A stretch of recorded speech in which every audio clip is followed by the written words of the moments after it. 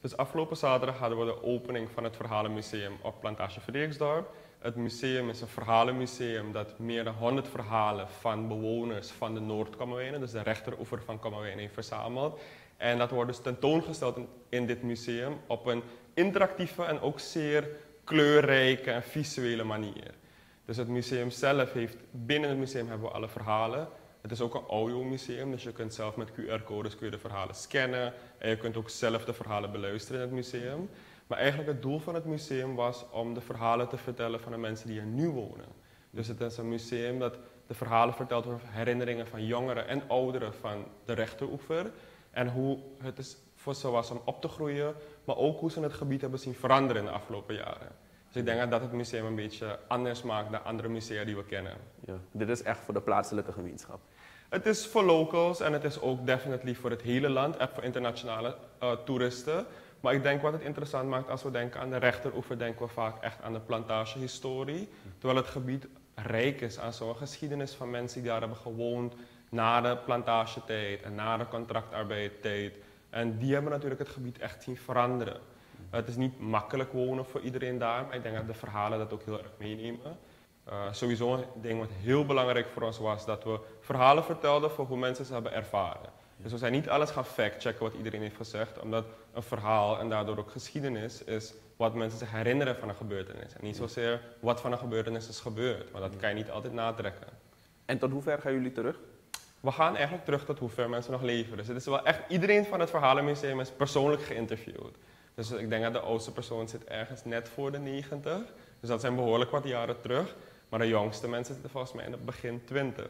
Dus we hebben behoorlijk wat mensen geïnterviewd. En hoe moet ik me zoiets voorstellen? Als ik binnenkom, is het veel digitaal? Is het veel uh, fotowerk, videowerk? Hoe is het? Ja, het is heel erg set decor. Dus we hebben echt bijvoorbeeld het Mangrovenbos, we hebben het hele Mangrovenbos nagebouwd. We hebben winkels en huizen nagebouwd. We hebben traditionele klededracht tentoongesteld. We hebben boven, hebben, we noemen het eigenlijk onze Wall of Heroes. Omdat dat is nog een ding wat we nu aan het voortzetten zijn. We kwamen erachter dat rechteroever van Kommerwijnen heeft niet zoveel heroes die bekend staan. En ons doel was echt om everyday heroes te vinden en die ook echt tentoon te stellen. Uh, dus het museum, als je echt iets erbij moet voorstellen, het is enorm visueel, het is enorm interactief.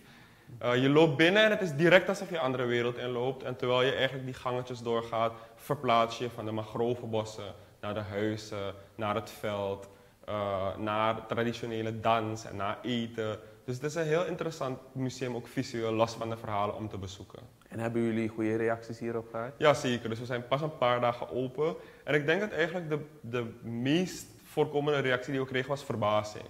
Ik heb het gevoel dat Kamerwijnen niet zo ver van de stad. Ja, Javana, ja, Hindustanen, dat zijn volgens mij Suriname's grootste bevolkingsgroepen om en bij. Dus iedereen heeft een beetje het gevoel van, we, kennen het wel. Iedereen kent de geschiedenis, iedereen kent het wel. Maar er zijn zoveel verhalen die je nooit hoort, omdat die verhalen worden gezien als te recent om mee te nemen. Of iedereen denkt, ja, we kennen het wel. En ik denk dat wat zo bijzonder is, dat je dus, je leert over het gebied dat je kent, waar je vaak bent geweest. En dan leer je zoveel dingen, je, leert, je ontdekt zoveel herinneringen en dingen die zijn gebeurd en hoe het voor mensen is om er nu te wonen. Dus ik denk dat mensen gewoon echt verrast waren over hoeveel er nog meer was om te ontdekken. Ja, een paar dagen zijn jullie open. Uh, is het publiek al welkom? Ja, zeker. Dus we hebben nu echt wel voor het publiek. We zijn elke dag van de week open van 10 tot 3.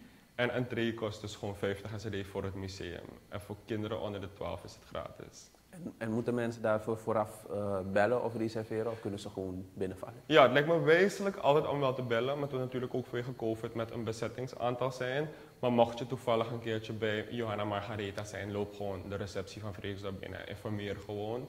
Maar als je echt denkt uit de stad te vertrekken om naar het museum te gaan, zou ik wel gewoon voor de zekerheid altijd even bellen. Ik denk dat we daarmee de globale info hebben. Is er nog iets dat je wilt toevoegen? Ja, ik wil eigenlijk ik wil mensen gewoon zeggen, uitnodigen om te komen. Laat je vooral ook echt aangenaam verrassen. Als je denkt aan een museum, denk aan iets compleet anders. En dan laat je ergens in de middel, denk ik, verrassen. Ik denk dat je het daar zal vinden. Het museum is nieuw, het is origineel. Uh, be one of the first en vertel het door, zou ik zeggen.